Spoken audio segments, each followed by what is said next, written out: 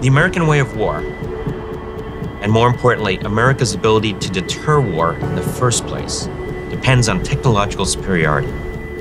Today, more than ever, American military superiority equates with their advanced technologies and the men and women who utilize them. But we're at risk of losing our edge with peer competitors who are investing heavily in a number of critical areas. For the first time since the Cold War, we face the prospect of having adversaries with superior technology. As we speak, peer competitors are learning from us, innovating, and investing heavily in critical technologies. The Emerging Technologies Institute, ETI, is a new organization committed to ensuring the U.S. maintains technological superiority. ETI will help align and prioritize issues amongst all stakeholders.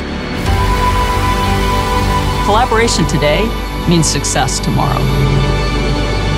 Smart investments in these technologies today will transform the experience of the warfighter tomorrow.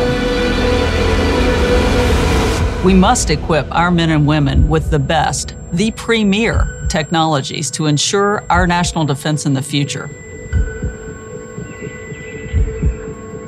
We are in a race, and to win this race, we need your help.